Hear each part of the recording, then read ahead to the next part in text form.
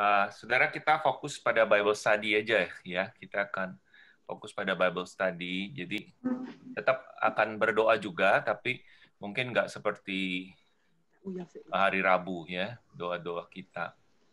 Uh, kalau ada yang nanti immediate apa tuh request ya atau ada kebutuhan saudara tolong sampaikan nanti kita doakan juga sama-sama di forum ini gitu.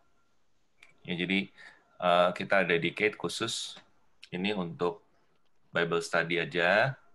Kita belajar firman Tuhan. Dan temanya spesifik kan ya pada kalau saudara lihat itu apa pengumuman lewat WA atau mailing list atau Facebook itu kita akan melihat tanda-tanda akhir zaman. Jadi berkaitan dengan khotbah minggu lalu. Kalau saudara ada pertanyaan dari mengenai uh, khotbah yang saya sampaikan minggu lalu ya, yaitu mengenai kedatangan Tuhan kembali, bagaimana kedatangan itu. Nah, itu itu di khotbah minggu lalu tuh. Hari ini kita mau fokus pada tanda-tandanya. Tuhan datang tanda-tandanya apa. Nah ini paling digemari oleh orang karismatik. ya nah, nggak tahu nih orang reform pada suka apa enggak. Kelihatannya nggak gitu suka ya orang reform gitu ya.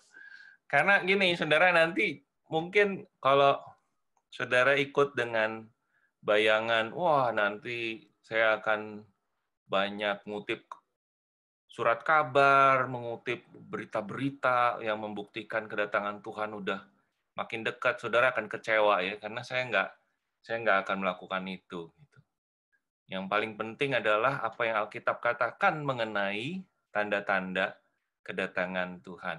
Nah, itu yang saya ingin saudara ketahui. Nah, ya, jadi saya akan membagikan sebetulnya bisa singkat sekali saya sampaikan uh, standard understanding pemahaman standar dari uh, reform perspektif gitu ya jadi nggak akan ke mana-mana lah reform itu akan begini kira-kira pikirannya gitu.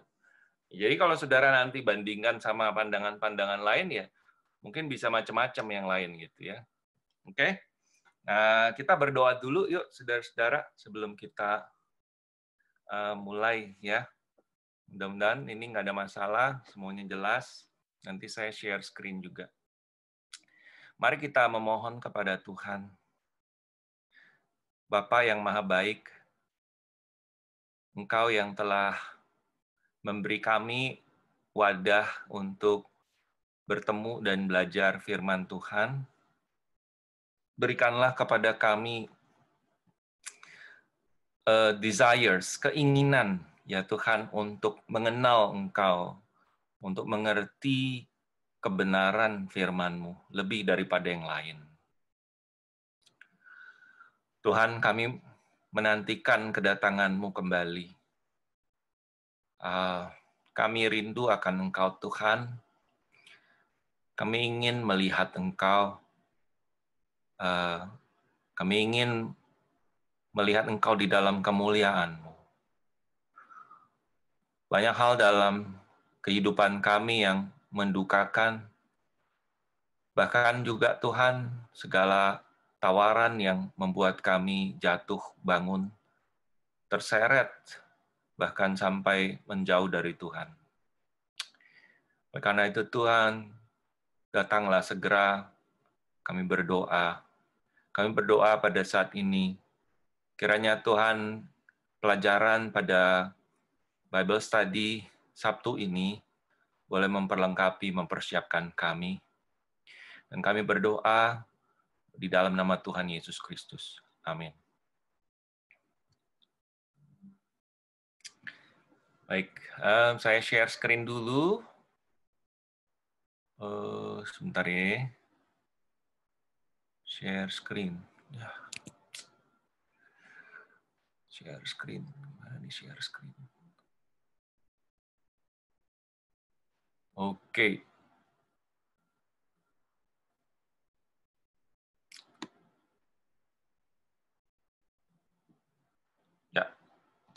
Tanda-tanda akhir zaman.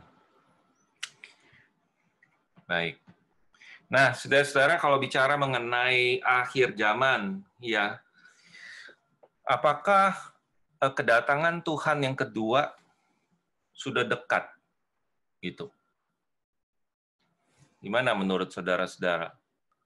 Ya, clock is ticking. Ya, kalau kita bilang sudah dekat, apa sih maksudnya dekat gitu? Ya. Apakah maksudnya dekat itu sejam lagi? Apakah eh, besok, minggu depan atau tahun depan? Mungkin tahun depan, ya. Jadi persiapkan dari sekarang. Kapan gitu?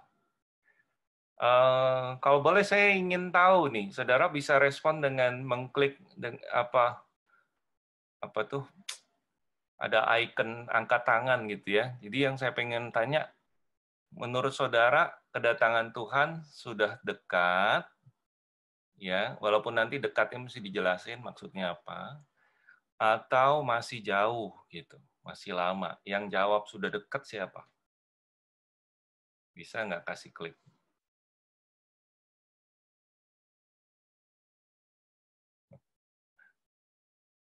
Nggak ada ya? Nggak ada yang bilang udah deket nih berarti ya? Masih lama ya? Ada satu.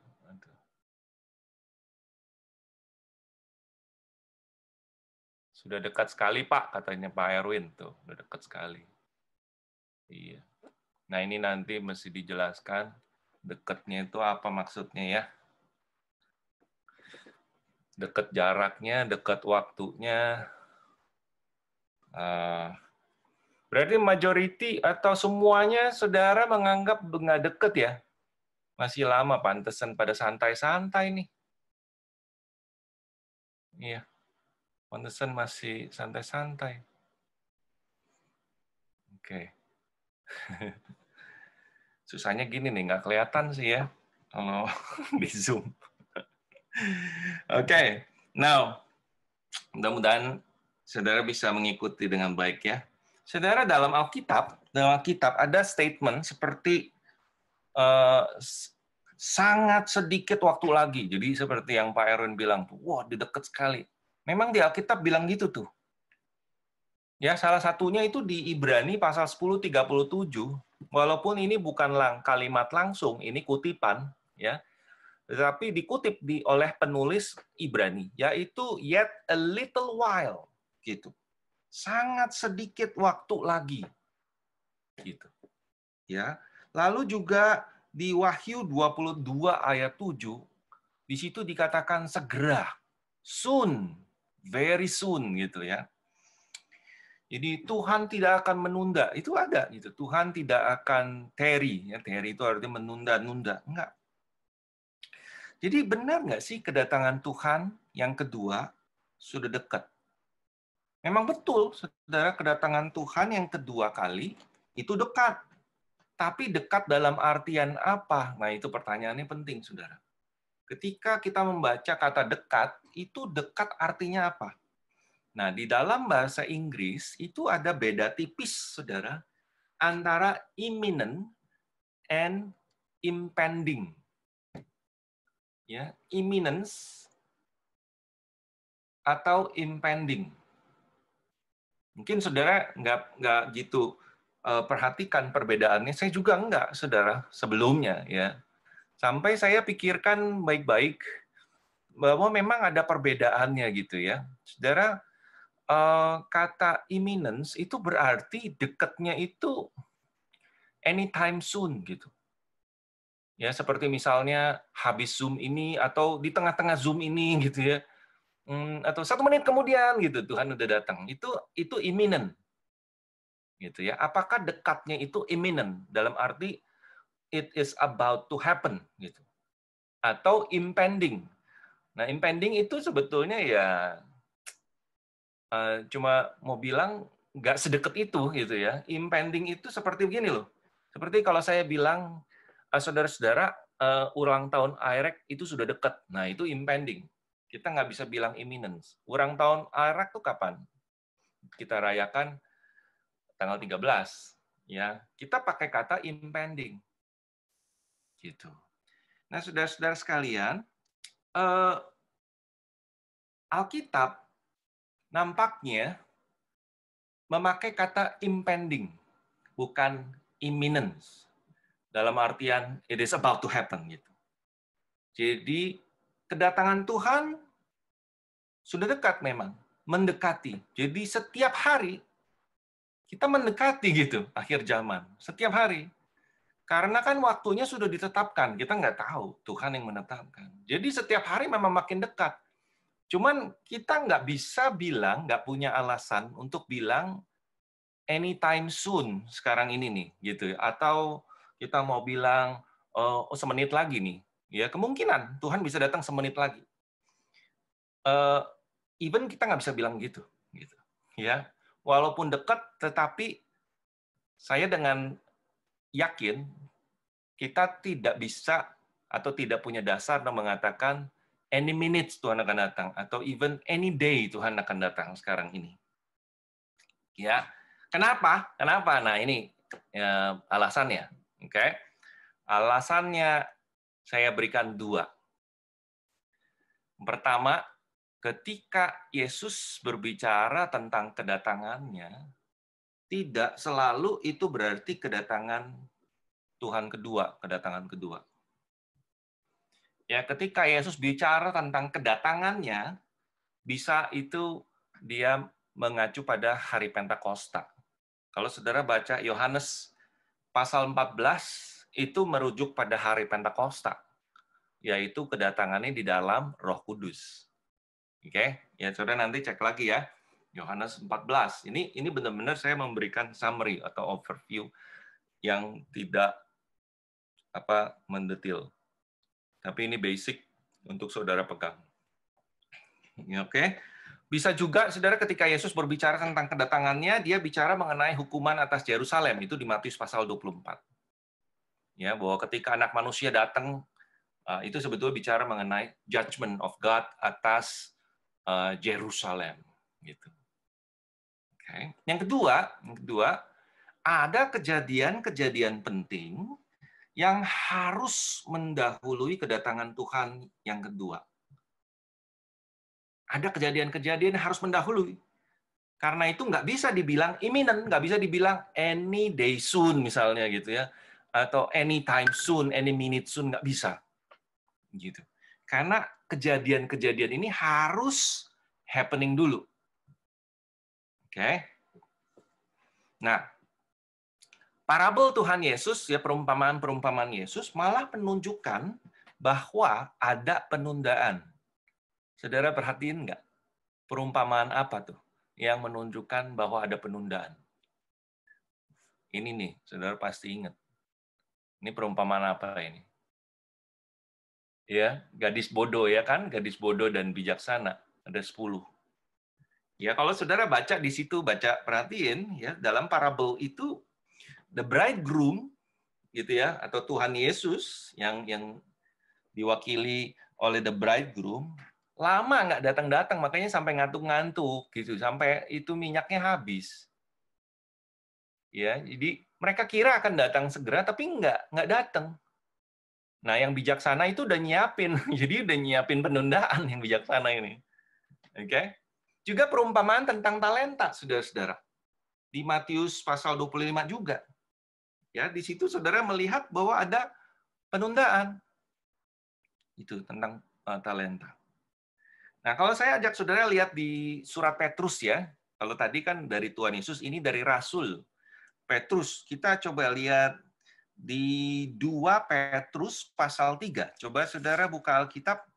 Saudara, uh, di surat Petrus, tetapi yang kedua, 2 Petrus pasal 3 yaitu ayat 3 sampai 9. 2 Petrus pasal 3 ayat 3 sampai 9. Uh, Oke. Okay. Yang terutama harus kamu ketahui ialah bahwa pada hari-hari zaman akhir akan tampil pengejek-pengejek dengan ejekan-ejekannya, yaitu orang-orang yang hidup menuruti hawa nafsunya kata mereka, nah ini coba saudara perhatiin, ini ejekan, ya, saudara ini ejekan. kata mereka, di mana janji tentang kedatangannya itu? Menurut saudara, kenapa mereka mengejek seperti itu? Karena yang dikata eh, yang dikatakan mau datang lagi itu nggak datang-datang gitu, ya. Maka mereka mengejek mana tuh, mana? Ayo, kamu bilang mau datang dia, mana nggak datang? Gitu maksudnya. Ya, sebab sejak bapak-bapak leluhur kita meninggal, segala sesuatu tetap seperti semula pada waktu dunia diciptakan gitu. Ya kan penundaan ini Saudara. Ya. Lalu saya ajak Saudara melompat ke ayat 8. Akan tetapi ini nasihat Petrus. Ya jangan goyah kamu jangan goyah gitu katanya. Saudara-saudara yang kekasih, jangan lupa nih yang satu ini tidak boleh kamu lupakan di hadapan Tuhan apa Saudara? Satu hari sama dengan seribu tahun. Seribu tahun sama seperti satu hari. Jadi waktunya Tuhan itu jangan disamakan dengan waktunya kita. Yang kita rasa cepat, taunya seribu tahun lagi. Yang kita rasa, ah masih lama, seribu tahun lagi, tahu-taunya besok. Gitu maksud Petrus, saudara. Lalu ayat 9, Tuhan tidak lalai menepati janjinya walaupun ada semacam penundaan, ya, seperti ya kita rasanya penundaan, bagi Tuhan bukan penundaan. Memang belum, gitu kan? Tuhan tidak lalai menepati janjinya. Gitu. Dia sabar terhadap kamu karena ia menghendaki supaya jangan ada yang binasa melainkan supaya semua berbalik dan bertobat. Jadi kalau Tuhan belum datang sekarang, Petrus menasihati itu karena Tuhan sabar pada kita. Dia masih menunggu agar kita bertobat sepenuh hati. Nah, kalau begitu saudara, kalau nggak dekat sekali ya atau tidak atau bukan imminent gitu ya kedatangannya itu dekatnya bukan imminent it's about to happen anytime soon mungkin saudara bertanya kalau begitu ya Pak Agus ngapain kita berjaga-jaga capek berjaga-jaga terus. Iya tuh, masih lama, ya santai-santai aja dulu. Kan nggak ada urgensinya. Gitu ya, itu sering begitu saudara bertanya. Nah maka dari itu saudara, kita coba lihat nih, Tuhan berkata dalam Matius 24. Saya ajak saudara, coba lihat ya.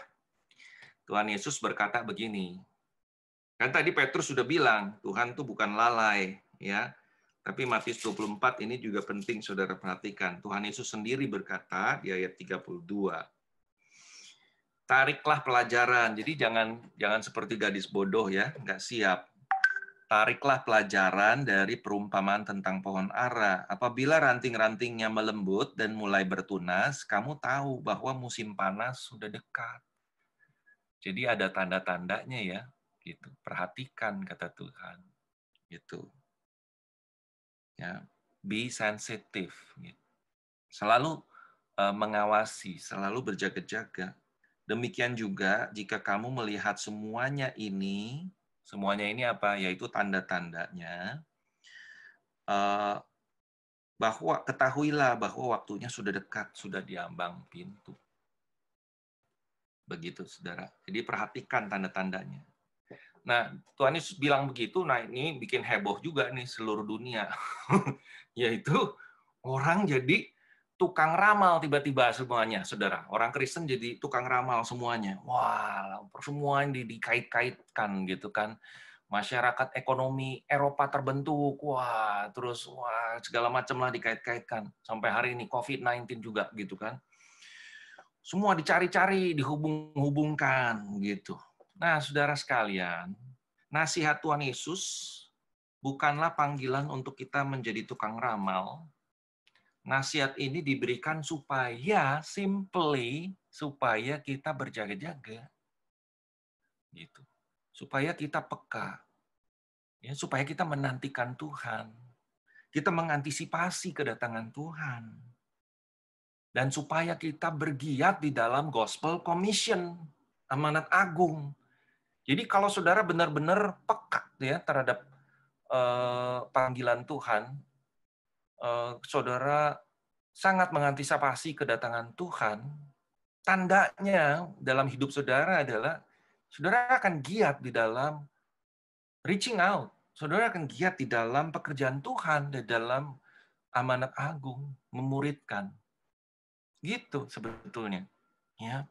Nah, tanda-tandanya apa, saudara? Tanda-tandanya coba lihat ya. Ini yang dapat kita kumpulkan. Oke, nggak gampang ya, saudara, tetapi ini yang dapat dikumpulkan uh, sebagai tanda-tanda menjelang atau tanda-tanda yang harus terjadi sebelum kedatangan Tuhan kembali. Oke, kita lihat satu demi satu. Yang pertama yaitu penginjilan kepada segala bangsa. Ya, kita lihat yang pertama penginjilan pada segala bangsa. Mari kita lihat Matius 24 lagi. Nanti yang lain Saudara bisa lihat ya. Matius 24 ayat 14. Nah ini, dikatakan begini. Injil kerajaan ini akan diberitakan di seluruh dunia menjadi kesaksian bagi semua bangsa. Sesudah itu barulah tiba kesudahannya. Okay. nah saya mungkin kasih sedikit background. Saudara Matius 24 uh, eh, adalah bagian yang unik. Unik dalam artian Tuhan Yesus bicara uh, untuk zaman itu, oke okay, atau zaman rasuli, dan sekaligus untuk zaman yang akan datang atau sekaligus untuk akhir zaman ya mengenai kejadian yang akan dialami oleh murid-murid ya pada zaman itu dan juga sekaligus mengenai apa yang akan terjadi ketika ia datang kembali ya datang kedua kali gitu. oke okay. ada orang yang mau mau stick pada oh ini mah udah terjadi semua Matius 24 tuh udah terjadi semua ya tapi saya melihat uh, kurang kurang bijaksana juga kalau kita melihat hanya sampai di sana oke okay. uh, saya memegang posisi bahwa Tuhan Yesus berbicara berbicara juga mengenai kedatangan Tuhan kembali nanti gitu ya oke okay.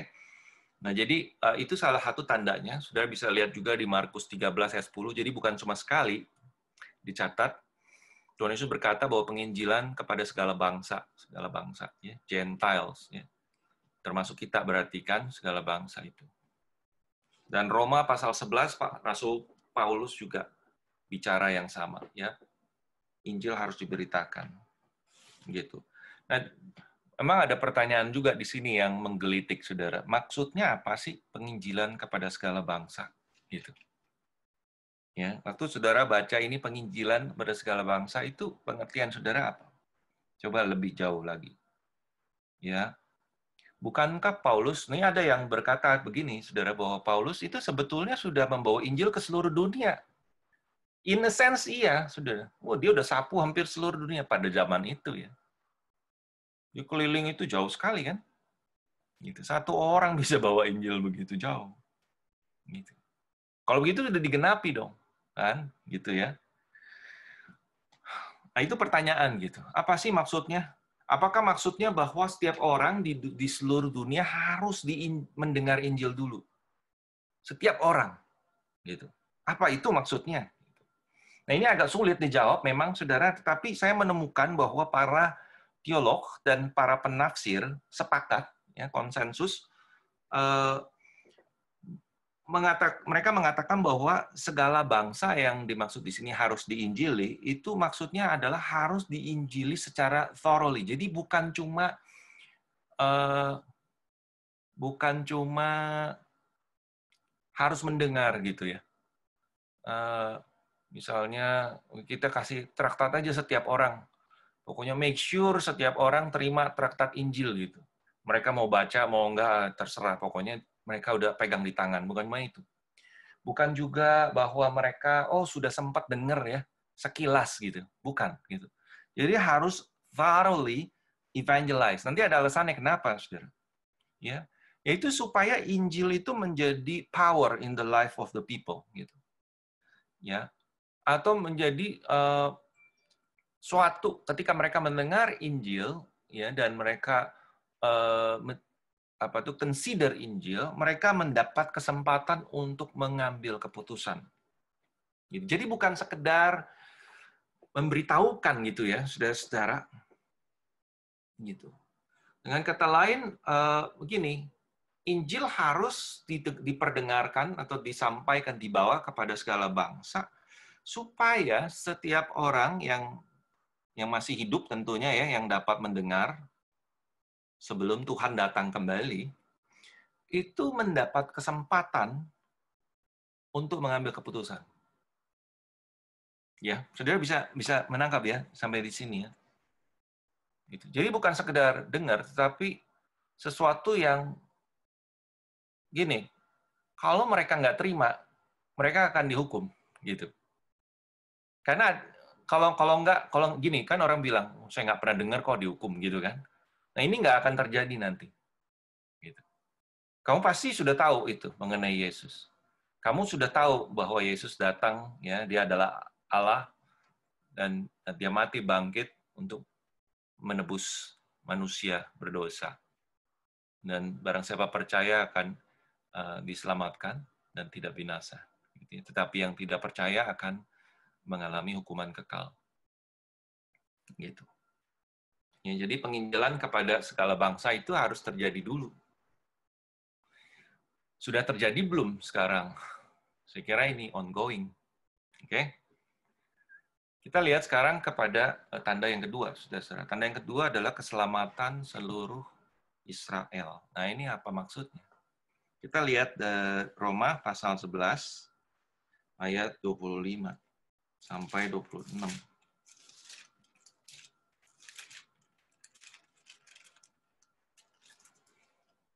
Kalau ada dari saudara yang ingin bertanya, tolong angkat tangan nih pakai pakai icon supaya kelihatan. Karena ini saya nggak bisa ngelihat semuanya ya in case kalau ada ya. Roma pasal 11 ayat 25 sampai 26 yang bunyinya begini. Sebab saudara-saudara supaya kamu jangan menganggap dirimu pandai, aku mau agar kamu mengetahui rahasia ini. Nah, ini rahasia nih kata Paulus. Misteri gitu. Sebagian dari Israel telah menjadi tegar sampai sampai kapan? Sampai jumlah yang penuh dari bangsa-bangsa lain telah masuk. Dengan jalan demikian seluruh Israel akan diselamatkan. Nah, di sini Saudara, seluruh Israel akan diselamatkan. Seperti ada tertulis dari Sion akan datang penebus, ia akan menyingkirkan segala kefasikan daripada Yakub. Nah, again, pertanyaannya, maksudnya apa nih seluruh Israel akan diselamatkan? Gitu.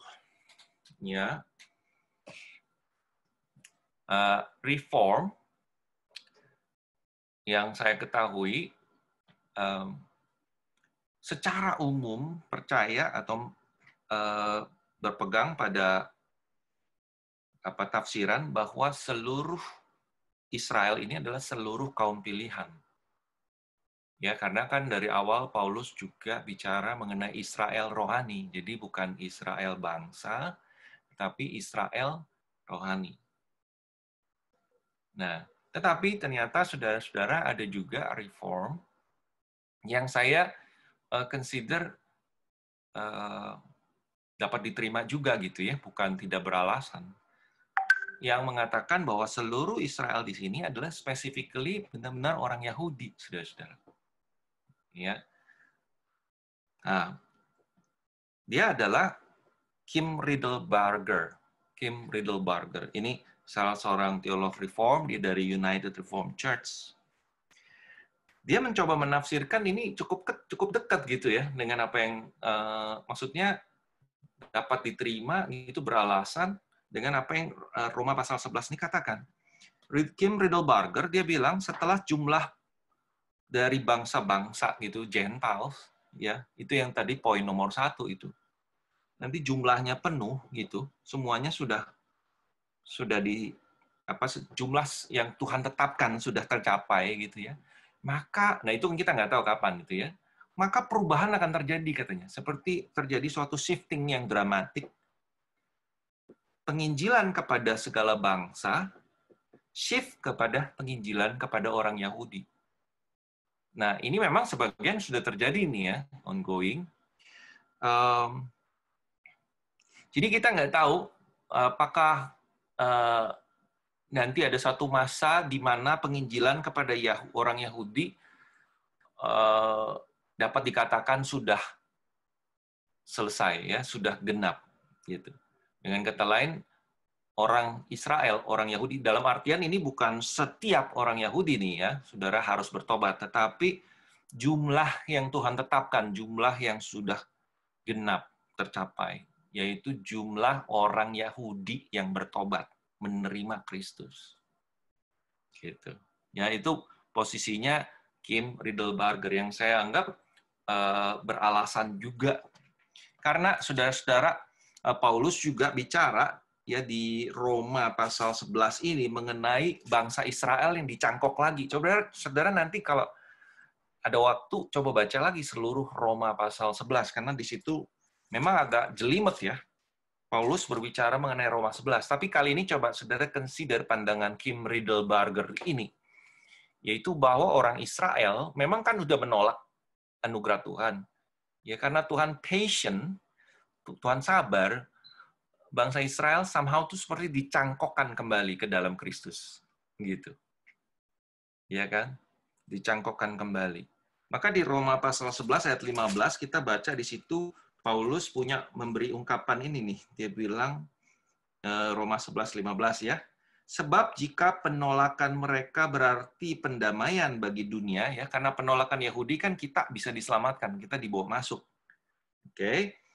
Dapatkah Nah, perhatikan, dapatkah penerimaan mereka, orang Yahudi ini, mempunyai arti lain daripada hidup dari antara orang mati. Ya, jadi dengan kata lain dia mau bilang kembalinya nanti uh, orang Israel ya, orang Yahudi maksudnya, seperti bangkit dari antara orang mati. Memang mereka mati, tetapi mereka dibangkitkan lagi. Nah, begitulah kira-kira ya, saudara. Uh, itu poin yang kedua tuh, tanda yang kedua. Oke. Okay. Tanda yang ketiga yaitu kemurtatan besar-besaran dan juga kedatangan antikris. Oke. Okay. Nah, ini adalah prediksi Paulus ini, Saudara. Kita melihat di 2 Tesalonika pasal 2. Mari kita lihat, Saudara. Surat Paulus kepada jemaat Tesalonika, tetapi yang ke yang kedua. Yaitu di ayat 1 sampai 12. Ayat 1 sampai 12 agak panjang ya, tapi saya coba ambil beberapa bagian aja. Uh, di perikop itu, Paulus berkata bahwa harinya belum datang karena kemurtatan atau uh, ya kemurtatan belum terjadi. Itu saudara bisa lihat di ayat 3 ya. Janganlah kamu memberi dirimu disesatkan orang dengan cara bagaimanapun juga. Sebab sebelum hari itu, yaitu refer kepada kedatangan Tuhan, ya sebelum hari itu haruslah datang dahulu murtad ya rebellion atau kemurtatan itu dalam bahasa Greeknya apostasia yaitu apostasy murtad lebih tepat memang gitu jadi akan terjadi kemurtatan dan haruslah dinyatakan dahulu manusia durhaka maksudnya apa nih manusia durhaka ini adalah eh, antikris Paulus pakai nama manusia durhaka Ya ini adalah yang sering disebut sebagai antikris. Gitu. Ya. Karena manusia pendurhakanya belum dinyatakan itu. Ya, tiga. Begitu nyata, ya begitu murta, kemurtatan besar-besaran yang dimaksud ini terjadi, dan manusia pendurhaka atau antikris, nah antikris ini bukan bukan antikris kecil, bukan antikris dalam huruf kecil. Ya, di, di surat Yohanes saudara membaca banyak antikris ya memang sudah dalam dalam perjalanan gereja antikris itu udah ada di mana-mana gitu. Ya basically orang-orang yang memberontak kan, orang-orang yang menolak Injil, yang yang menekak-nekuk Injil, kebenaran Injil gitu ya. Uh, yang menghujat nama Tuhan dan seterusnya gitu. Tetapi ya, yang uh, dimaksud di sini adalah spesifik nih, saudara. Artinya antikris dalam huruf besar, gitu ya. Akan ada satu orang nantinya, kita nggak tahu siapa, dan nggak usah dicari-cari, please, ya. Karena sepanjang sejarah itu bergeser terus. Di Pope pernah dianggap antikris, ya. Donald Trump juga pernah dianggap antikris. Oke, okay? jadi eh, nggak usah dicari-cari lah, karena bergeser terus. Juga bukan itu poinnya. Tapi akan datang nanti antikris. Itu karena firman Tuhan sendiri mengatakan itu spesifik. Antikris yang final, gitu. Kita sebut aja ini antikris yang final, bukan yang kecil, ya, tapi yang besar. Gitu. Jadi penampakan manusia pendurhaka atau antikris nanti akan uh, terjadi tapi ini juga akan terjadi bersamaan dengan final outbreak of satanic activity. Itu yang di ayat 8 sampai 11 nih. Coba saya ajak saudara lihat ya, ayat 8 sampai 11. 2 Tesalonika itu ayat 8, pasal 2 ayat 8 ya. Coba ya. 2 Tesalonika 2 ayat 8. Pada waktu itulah si pendurhaka baru akan menyatakan dirinya. Oke. Tetapi Tuhan Yesus akan membunuhnya dengan nafas mulutnya dan akan memusnahkannya kalau ia datang kembali. Oke, jadi Tuhan Yesus yang datang kembali itu akan mematikan dia, menghancurkan dia dengan nafas mulutnya. Oke. Ini kelihatannya figuratif ya. Kedatangan si pendurhaka itu adalah pekerjaan iblis dan akan disertai rupa-rupa perbuatan ajaib. Jadi saudara lihat di sini kedatangan si antikris ini ya akan terjadi bersamaan dengan pekerjaan iblis, aktivitas satanik. Gitu ya. Jadi kegiatan setan. Oke? Okay? Dan akan disertai dengan rupa-rupa perbuatan ajaib. Ya, mujizat-mujizat gitu ya, tanda-tanda, tapi semua itu palsu katanya dengan rupa-rupa tipu daya jahat terhadap orang-orang yang harus binasa karena mereka tidak menerima dan mengasihi kebenaran yang dapat menyelamatkan mereka. Jadi orang-orang yang murtad yang memang uh, apa tuh tidak menerima ya tidak mengasihi kebenaran yang memang harus binasa katanya di sini mereka akan enjoy tipuan itu. Mereka akan menikmati tipuan itu. Ya, jadi selamanya akan dibutakan. Dan itulah sebabnya Allah mendatangkan kesesatan atas mereka yang menyebabkan mereka percaya akan dusta. Supaya dihukum semua yang tidak percaya akan kebenaran dan yang menyukai kejahatan. Gitu. Jadi saudara, uh, sudah dikatakan ini ya uh, oleh Paulus bahwa akan ada aktivitas satanik gitu. Nah ini berkait menarik ya, saudara-saudara apa yang ditulis Paulus di sini nih berkait dengan apa yang bisa saudara baca di Wahyu pasal 20. Kalau saudara mau buka dengan saya, silakan ya. Otherwise saya akan coba tunjukkan pada saudara. Wahyu 20, ini kan Yohanes ya. Yohanes ini yang nulis. Wahyu. Ayat 7 sampai 10. Judulnya di Alkitab Saudara adalah Iblis dihukum. Saudara lihat deh, ini bisa sinkron gitu. Eh, setelah masa seribu tahun itu berakhir, iblis akan dilepaskan dari penjaranya. Ya, jadi iblis akan dilepaskan. Iblis akan beraktivitas gitu dengan kata lainnya. Dia akan pergi menyesatkan bangsa-bangsa pada keempat penjuru bumi. Jadi ini coverage-nya ini seluruh penjuru dunia yaitu Gog dan Magog. Nah, ini eh, agak susah memang dipahami Gog dan Magog, tapi itu referensinya di kitab Yehezkiel, uh, referring kepada semacam troops ya atau tentara di zaman Yehezkiel yang menindas umat Tuhan. Gitu. Ya, jadi ini nama nama troops ya, nama tentara nih Gog and Magog. Oke. Okay? Uh, dan mengumpulkan mereka untuk berperang. Dan jumlah mereka sama dengan banyaknya pasir di laut. Jadi banyak sekali nih. Ya, nanti pengikut si iblis ini ya yang akan melakukan aktivitas uh, satanik Lalu naiklah mereka ke seluruh dataran bumi, lalu mengepung perkemahan, jadi akan mengacaukan, akan mengepung perkemahan orang kudus dan kota yang dikasihi itu. Oke, jadi uh, mereka akan uh, mengganggu, ya mengepung, menganiaya, menindas orang-orang kudus, tetapi dari langit turunlah api menghanguskan mereka begitu dan iblis yang menyesatkan mereka akan dilemparkan ke dalam lautan api dan belerang yaitu tempat binatang dan nabi palsu itu dan mereka disiksa siang malam sampai selama-lamanya. Jadi Saudara di sini akan melihat, uh, saudara di sini melihat juga bahwa uh, aktivitas satanik itu akan diakhiri ya dan si pendurhaka itu akan uh, apa tuh akan dihukum ya kalau di dalam surat Tesalonika dikatakan bahwa Tuhan Yesus yang akan mengembuskan ya dengan api gitu ya oke okay. gitu jadi saudara coba kalau kita uh, ringkaskan, ringkaskan. Uh, khususnya pada poin yang ketiga ini, tanda yang ketiga, yaitu akan ada aktivitas setan yang berkaitan dengan penampakan antikris yang final. Oke, antikris dalam huruf besar tadi.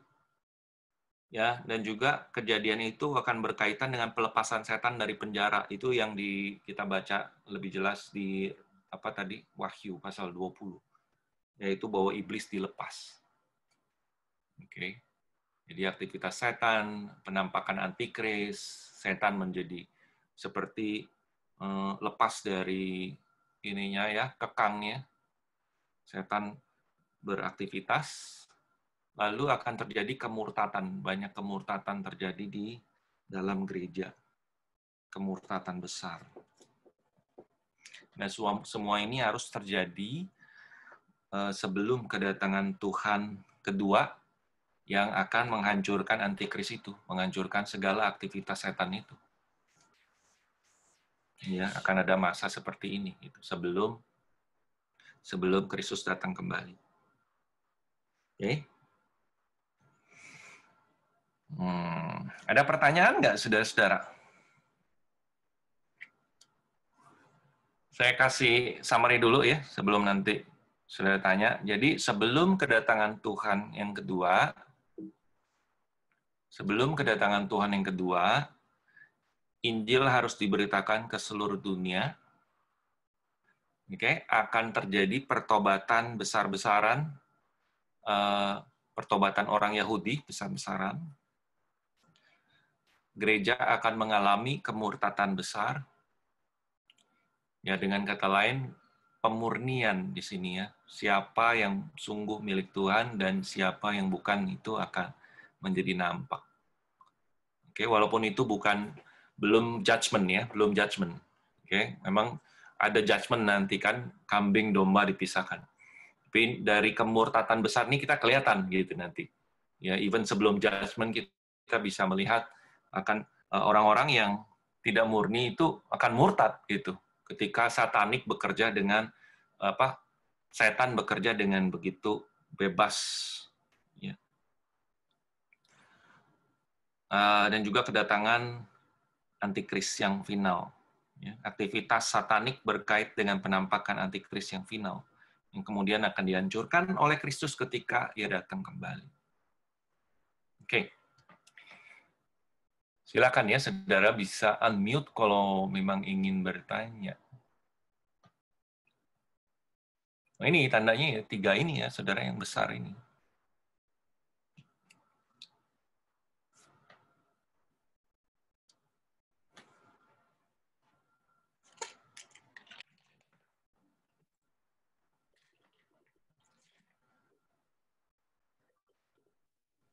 Bagus. Ya, Sore Pak, sore semuanya. Selamat sore, siapa ini? Pak Randy ya? Iya. Oke. Kalau melihat tandanya gitu kayaknya masih lama ya Pak? Wah, saya nggak tahu Pak. kan masih banyak yang belum di di uh, belum diperdengar Injil masih banyak yang belum dengar Injil. Hmm. Kemudian gereja boleh dibilang masih masih banyak yang orang ke gereja. Hmm. Jadi kayaknya masih masih ada waktu. ya, bertobatlah segera. Bertobat. Artinya saya pernah pernah bilang gini. Uh, nggak iminen. Uh, uh, ya, ya, ya memang iminen sih enggak. Emang uh, impending ya, karena kan waktunya sudah ditetapkan ya. Hmm. Kita nggak dikasih tahu. Waktunya sudah ditetapkan. Jadi setiap hari itu sebetulnya mendekat. Nah, waktunya kapan kita nggak tahu. Uh, walaupun kita nggak bisa bilang kelihatan ini uh, besok nih misalnya gitu atau lusa. Tetapi kejadian ini semuanya ya, kalau menurut perhitungan manusiawi dalam satu tahun tuh bisa terjadi semua. Benar nggak? Kalau Tuhan mau bikin jadi. Ya kalau Tuhan mau bikin ya bisa semuanya. Iya, gitu. Tapi kalau any minute sih, ya bisa aja sih ya memang. Cuman itu kayaknya ya susah dibicarakan gitu ya kalau kita bilang ini semuanya terjadi di dalam waktu lima menit misalnya begitu ya. Jadi agak sulit kalau kita bilang itu imminent. Eh, tapi bahwa di dalam waktu dekat Tuhan membuat semua ini terjadi bisa. Gitu. Ya, jadi mungkin kalau buat saya sih at least saya mempersiapkan jangan-jangan di di masa hidup saya gitu. Di masa hidup saya Tuhan datang dan semua ini terjadi dan uh, bersiap-siaplah dan kalau memang sampai terjadi kemurtatan besar dan kedatangan antikristus uh, it's a scary scary thing. Akan banyak air mata, saudara-saudara. Right? Kemurtatan besar. Orang-orang yang kita mungkin look up orang-orang yang kita expect ya akan bersama dengan kita di surga ternyata murtad gitu dan uh, kedatangan antikris kegiatan satanik seperti apa gitu ya ya sekarang kita udah dengar tuh ada gereja setan di sini di sana saya kok gak terlalu ini ya gereja satanik ya ya seram sih artinya uh, blasphemy of course ya itu suatu hujatan. Tetapi itu terang-terangan gitu ya. Maksudnya yang lebih berbahaya itu yang nggak kelihatan gitu ya. Wujudnya gereja tetapi pekerjaan satanik yang dikerjakan. Nah itu yang saya kira lebih lebih berbahaya gitu.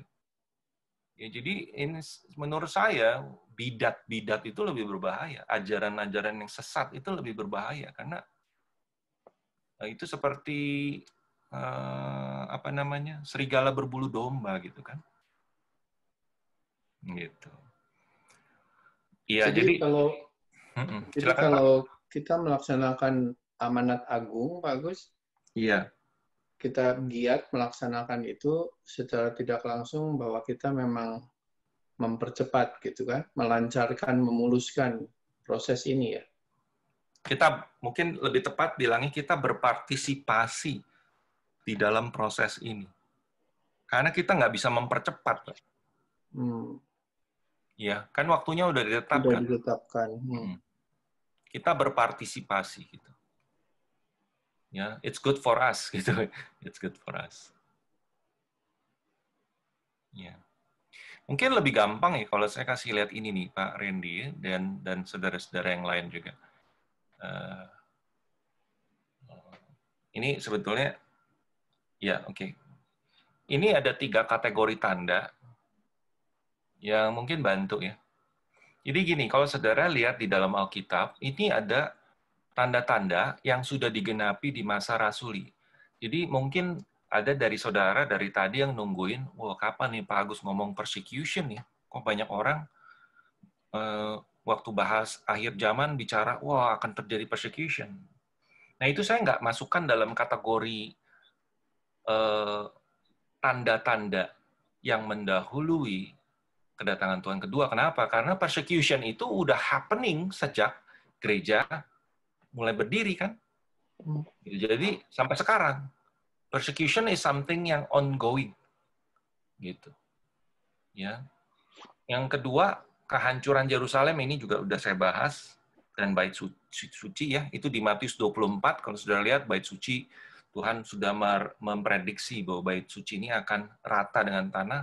Itu sudah terjadi di AD pasal uh, eh, AD pasal uh, eh, AD tahun 70 ya. Lalu juga penyebaran Christianity sampai ke ujung dunia ini ongoing kan. Ya, masih ongoing dari sejak awal sampai sekarang. Gitu. Oke. Okay? Nah, sekarang kita lihat kategori yang kedua nih. Uh, saya sebut ini periode interadvental, artinya gini, advent itu artinya kedatangan. Jadi periode antara kedatangan pertama dan kedua. Ini yang dimaksud periode interadvental, kedatangan pertama dan kedua. Oke. Okay. Nah, di antara ini uh, perang berlangsung, ya tuh rumors, ya gosip tentang perang itu sudah sudah berlangsung. Oh, nanti China akan perang sama Amerika, apa itu yang orang takutkan. Nah, itu rumors of wars, right? Maybe happen, maybe not gitu ya. Tapi itu sudah ongoing dari dulu ya. Romawi akan dengan siapa, Persia dengan siapa dari dulu. Dari sejak kedatangan pertama sampai nanti kedatangan Tuhan kedua, ini akan terjadi terus menerus peperangan. Oke, okay? uh, eh, kita nggak tahu apakah akan akan increase ya. Kelihatannya, well kita nggak tahu deh ya. Know, saya bukan pengamat itu gitu. Yang kedua, gempa gempa bumi dan bencana alam, bencana alam lainnya juga ongoing. Dari dulu kan udah ada gempa bumi.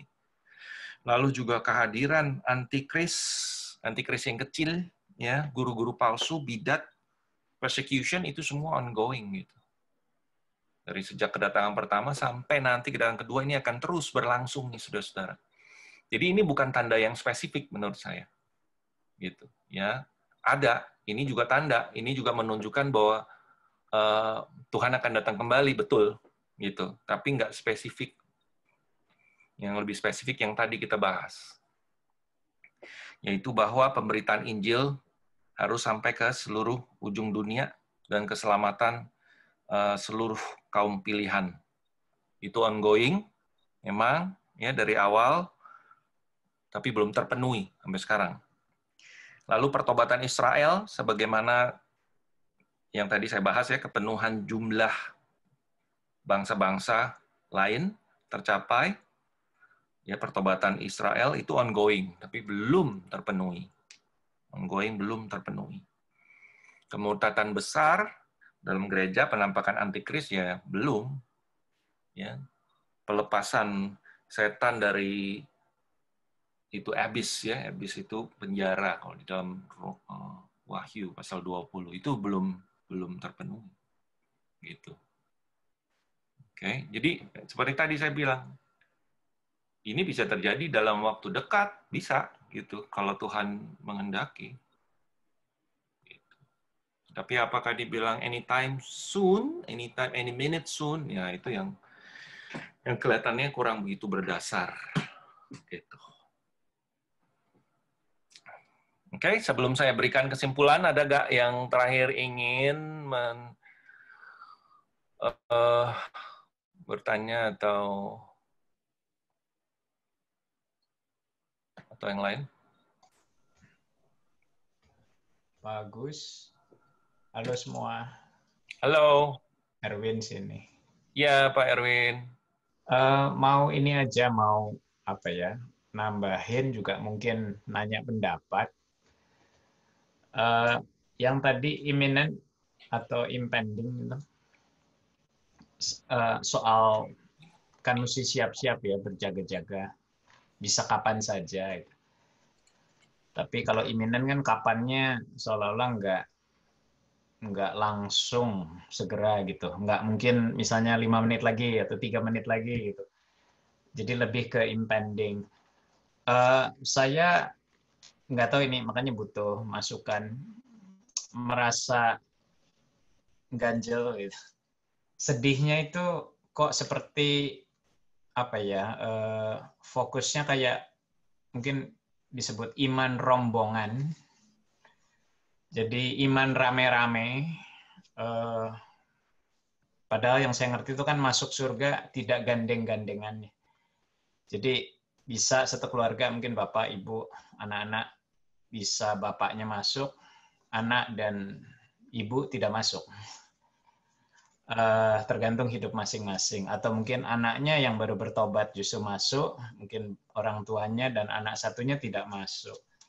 Uh, itu yang saya ngerti dengan tidak gandeng-gandengan. Nah lalu yang iman rombongan itu kok seperti dikesampingkan kalau Tuhan tuh bisa datang kapan aja tuh maksudnya di dalam kutip bisa datang. Uh, bukan kita nunggu terus Tuhan datang tapi kitanya yang dipanggil Tuhan. Gitu misalnya ya bisa apa saja kan mungkin tahu-tahu kecelakaan atau mungkin tahu-tahu musibah atau bahkan ada videonya beberapa di YouTube orang sehat-sehat lagi main bola apa bisa tahu-tahu dipanggil pulang gitu nah eh, yang gitu kan lebih apa ya itulah yang dadakan kan imenan itu um, Nah itu kok uh, saya tadi kayak ada yang nggak pas gitu seolah-olah jadi kayak iman rombongan itu oh kita semua berjejer siap nanti Tuhan datang gitu. Padahal kan bisa yang sangat mendadak itu yang kita nggak tahu ya. Bisa tahu-tahu setengah jam lagi ada kecelakaan apa gitu kan kita nggak tahu. Uh, nah itu kan yang yang sangat mendadak gitu. Yaitu uh, mungkin ini lebih ke pertanyaan, minta pendapat Pak Agus gitu gimana dengan yang tadi itu yang tidak mungkin langsung mendadak begitu juga gitu. Kan kita nggak tahu ya, bisa serangan jantung, bisa apa gitu. Ya. Gitu. Ya itu sih Pak, Pak Agus. Iya Pak. Makasih Pak Erwin, ya betul ya. sekali. Ya. Uh, apa yang Pak Erwin katakan ya, jadi itu yang biasanya disebutnya personal end time. Jadi akhir zaman personal. itu betul tuh Pak Erwin. Jadi tapi saya nggak bahas tentang itu karena itu uh, umum ya bahwa sebagai orang Kristen kita memang nggak nggak pernah tahu kapan Tuhan panggil. Itu kita kategorikan dalam personal end time. Gitu. Jadi bisa aja Tuhan panggil saya Nah itu itu bisa bisa saja imminent gitu ya karena nggak perlu ada tanda-tanda yang mendahului gitu ya kalau mau dipanggil bisa aja langsung. Nah yang ini yang satu ini nih yang Pak Erwin bilang rombongan ini ini yang saya bahas yaitu bahwa ketika Tuhan datang kembali dia harus didahului oleh tanda-tanda ini gitu Pak Erwin. Ya tapi uh, betul yang Pak Erwin katakan jadi uh, in terms of aplikasinya dalam hidup kita, ya kita mesti aware akan dua hal itu ya, Pak Erwin ya. Jadi uh, Tuhan akan datang kembali. Ya, pada waktu itu dia akan mengakhiri segala pekerjaan iblis ya pada hari itu dia akan datang dalam kemuliaan pada hari itu dia akan uh, apa memberikan penghakiman oke okay? Dan setelah itu langit dan bumi yang baru kita akan tinggal bersama dengan dia di langit dan bumi yang baru. Tetapi juga ada akhir zaman yang personal. Jadi kalau Tuhan mau panggil kita anytime gitu, pada saat ini juga bisa. Ya, itu personal gitu. Oke. Okay. Baik, terima kasih Pak Erwin telah memperkaya ini kita ya, diskusi kita. Iya, nah, sama-sama. Ya. Pak Agus? Ya. Saya Yohanes, Pak. Kedengeran nggak ini? Dengar, dengar, Pak Lil. Oke. Okay. Uh, eh, mau tanya, Pak. Kalau saya pernah dengar mengenai masalah apa namanya khotbah akhir zaman dan sering uh, diungkapkan dikaitkan dengan kitab Daniel, Pak. Hmm. Tanda-tanda kedatangan akhir zaman itu pada waktu masa yang kerajaan di mana yang Daniel yang mendapatkan mimpi yang apa namanya bukan Daniel apa raja apa itu mm-hmm, di kitab yeah. Daniel itu yang ada kaki tembaga perak perunggu emas seperti itu. Mm-hmm. uh, apakah itu juga benar apakah merupakan kitab Daniel apakah sesungguhnya juga mengungkapkan tanda kedatangan uh, akhir zaman dapat kedatangan Kristus yang kedua kali? Pertanyaan saya. Kedua, uh, referensi Daniel sebenarnya reliable dong, Pak ya, sebenarnya untuk akhir zaman. Kalau iya, kalau saya yang pernah saya ungkapkan sebenarnya agak make sense sih. Ada salah satu pengkhotbah David Jeremiah, yaitu ya memang beliau sih dari latar belakang baptis sih. Eh, mengungkapkan mengenai tanda akhir zaman melalui kitab Daniel ini uh, karena dia juga mungkin dia juga studi mengenai apa namanya kerajaan-kerajaan uh, yang dikaitkan mengenai dari Roma sampai sampai apa namanya sampai uh, Middle East, Persia, Roma sampai keadaan sekarang seperti itu. Nah, gimana menurut Pak Agus pendapat Pak Agus mengenai hal ini? Hmm. Um, betul Pak Pak Liu, itu kitab Daniel bisa dibaca sebagai uh, uh, apa nggak semuanya ya tapi ada yeah. bagian-bagian. Jadi seperti kitab wahyu ya Liu ya orang bilang wahyu itu uh, berbicara mengenai akhir zaman. Padahal nggak semua gitu. Malah bagian-bagian akhir zamannya itu cuma sebagian kecil.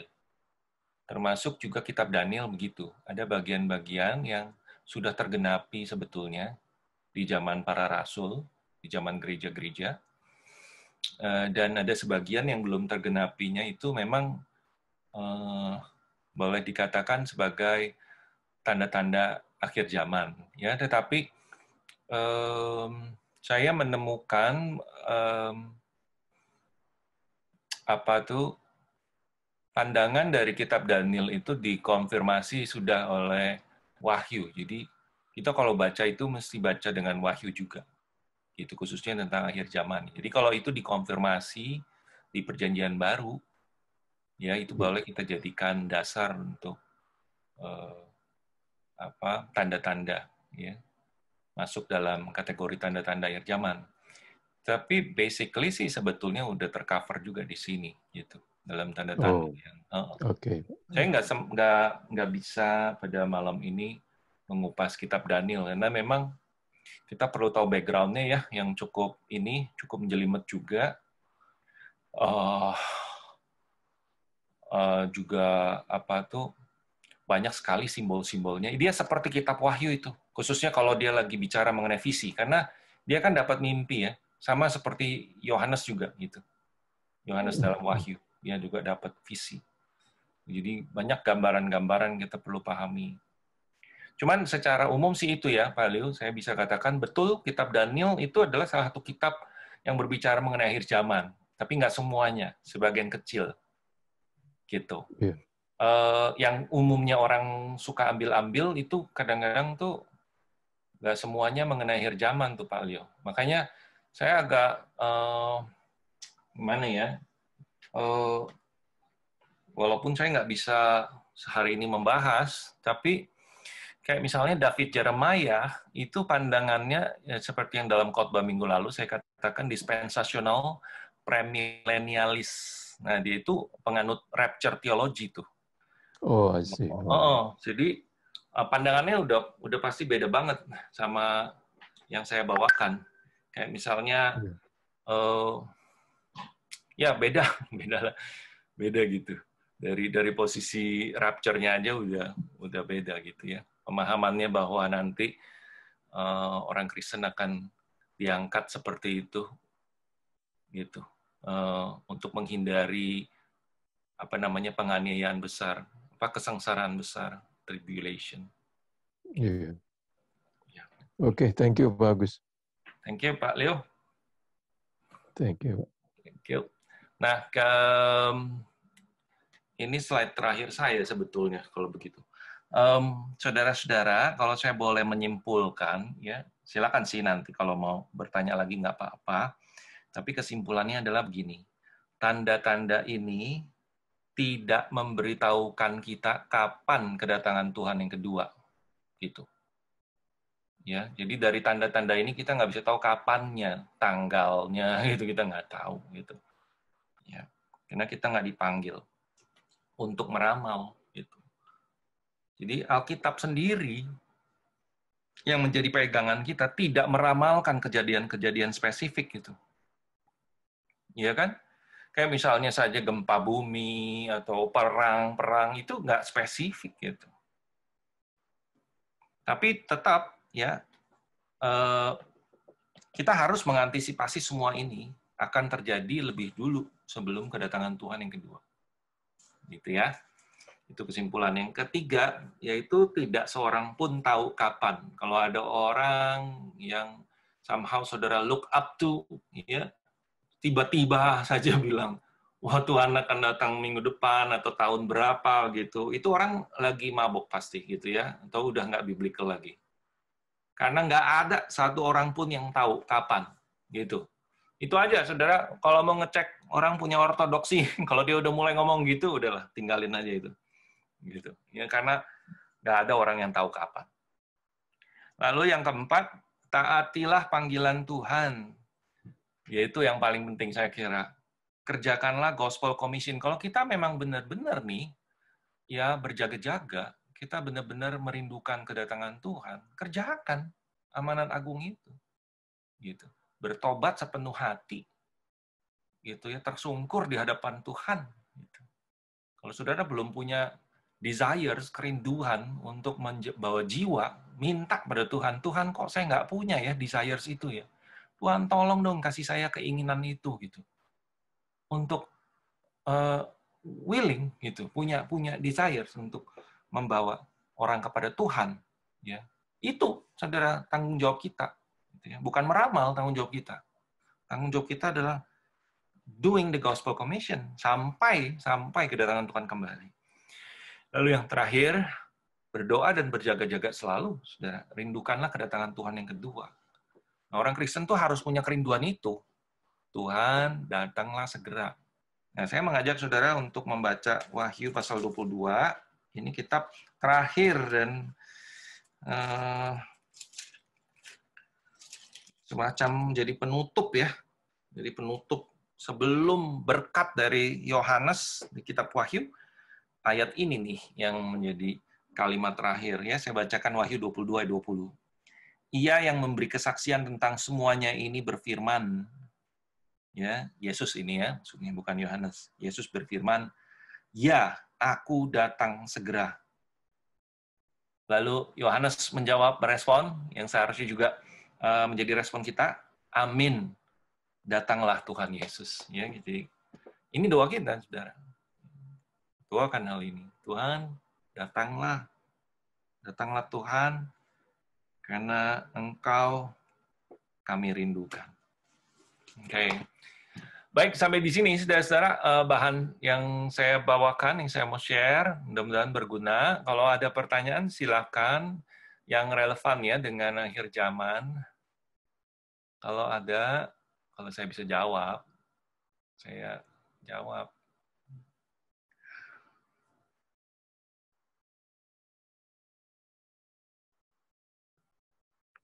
Pak, saya tanya lagi, Pak. Boleh, Pak Randy. Kalau ke sesudah kan uh, di Tesalonika itu kan yang kemarin di khotbahkan kan? Iya, Pak. Oh. Tesalonika 4:17 itu. Iya. Kan uh, kita di uh, diangkat ke awan untuk bertemu dengan Tuhan dan ya. nanti ketemu dengan Tuhan di bumi yang baru kan. Nah, buat mereka yang sudah sudah mati pada waktu itu, semua akan dibangkitkan lagi kan dengan tubuh kemuliaan. Ya. Betul ya. Nah, ya. pertanyaan saya, Tuhan Yesus sendiri sesudah dikubur, kemudian bangkit, itu kan bangkit dengan tubuh kemuliaan, betul nggak Pak Gus? Iya benar. Nah, tapi tubuh kemuliaan itu, tapi masih ada bekas-bekas itunya, tusukan. Jadi, apakah hmm. tubuh kemuliaan itu pemahamannya tubuh yang perfect, sempurna, atau gimana ya memahaminya? Iya, um, yang kita tahu ya Pak Randy, tubuh kemuliaan adalah tubuh yang seperti namanya tubuh yang penuh kemuliaan. Jadi um, saya memahami tubuh Tuhan Yesus yang sudah bangkit masih bertanda itu justru menunjukkan kemuliaannya. Yaitu bahwa dia telah menyelesaikan semua, dia berkorban, ya, dan tanda-tanda itu adalah tanda-tanda kemuliaan itu saya punya bayangan atau maksudnya pemahaman saya refleksi saya adalah seperti itu loh Pak seperti veteran perang ya dia sudah berhasil dan dia mengalami luka-luka dan luka-lukanya itu adalah kebanggaan gitu ya ini buat yang bangga tentunya ya ada ada veteran sebabnya yang depresi gitu ya. Hmm. Jadi veteran yang bangga gitu ya, luka-luka itu hasil perang itu karena dia sacrifice itu tanda kemuliaan itu. Seperti Paulus juga kan uh, dia mengatakan pada tubuhku itu sudah banyak apa namanya uh, ya cacat lah basically gitu ya oleh karena pelayanan. Gitu. Nah tapi tidak berarti bahwa kita misalnya ya Pak Randy uh, pernah kecelakaan lalu tangan kita oh, nggak bisa dipakai lagi nanti tubuh kemuliaan juga tangan kita nggak bisa dipakai lagi nggak begitu gitu ya karena semuanya itu kita akan di, diperbarui gitu loh ya kan uh, kita akan mendapat tubuh yang yang awet gitu yang yang bisa bertahan selama lamanya kan kalau kalau kalau mati lagi kan ini against the program gitu kan. Tahunya dari mana Pak Gus? Dasar ayat dasar-dasar firmannya dari mana yang kayak gitu? Ya itu bahwa kita nggak akan mati lagi. Tubuhnya ya tubuh kemuliaan, tapi oh, oh. definisi tubuh kemuliaan itu kan juga nggak ada. Iya, nggak punya. Tapi uh, tubuh itu uh, adalah tubuh Tuhan Yesus tubuh, uh, kita hanya punya contoh uh, Tuhan Yesus contohnya, gitu Pak. Hmm. Contohnya Tuhan Yesus itu, ya kan? Tapi kan kalau Pak Randy lihat kan uh, apa tuh Tuhan Yesus kan di, diremukkan gitu kan, tapi pada waktu dia dibangkitkan kan dia nggak dalam keadaan remuk gitu, iya kan? ada beberapa tanda yang tersisa yang memang uh, apa tuh menunjukkan bahwa dia sudah mati gitu buat kita. Itu yang ditunjukkan pada mana juga bagus. kalau tahu dari mana juga kalau waktu sudah dibangkitkan tubuhnya nggak remuk kan nggak kelihatan juga. Hah? Kelihatan dong. Tuhan Yesus kelihatan waktu dong. itu waktu bertemu dengan murid-muridnya makan bersama Uh -uh. Masuk ya yang masuk akal aja Pak Randy. Kalau remuk mana bisa makan ikan sama-sama, mana bisa ngegoreng ikan, mana bisa jalan gitu loh maksud saya. Nanti kan tubuhnya baru itu. Ya kan? Bahkan sampai ada indikasi eh, nggak eh, dikenalin ya sama murid yang ke apa di jalan menuju Emmaus itu ya? Emmaus oh. jalan Emmaus itu. Kan ada indikasi kok mereka nggak ngenalin ya nah. Gitu kan. Mungkin waktu wajahnya remuk itu orang juga udah nggak ngenalin Yesus. Ini Yesus yang gitu ya. Yesus yang kita kenal nggak begini waktu diremukan wajahnya. Ya udah penuh dengan darah badannya remuk dipukuli dan segala macam. Lalu kemudian bangkit dengan tubuh yang baru nggak dikenalin lagi gitu kan Cuma kok bolongnya masih dipelihara ya, Pak? Ya itu tadi. Kemuliaannya itu. Nanti tanya aja sama Tuhan Yesus. itu kemuliaan. kenapa kagak ditutup Tuhan gitu ya. Tapi again saya kalau saya punya refleksi itu Pak, saya kira itu itu tanda kemuliaan loh. Ya kalau saya tuh saya bisa menangis itu kalau ketemu Tuhan dengan apa lubang itu. Hmm. Ya, itu luar biasa itu. Oke, okay. thank you Pak. Thank you untuk pertanyaannya Pak Randy. Ada ada lagi nggak yang mau bertanya? Thank you ya Pak Randy. Jadi kita apa tuh bisa memperdalam. Baik, uh, kalau nggak ada, saudara-saudara, kita uh, masuk di dalam doa untuk uh, besok kali ya, untuk besok. Ada nggak dari saudara yang ingin didoakan? Ada yang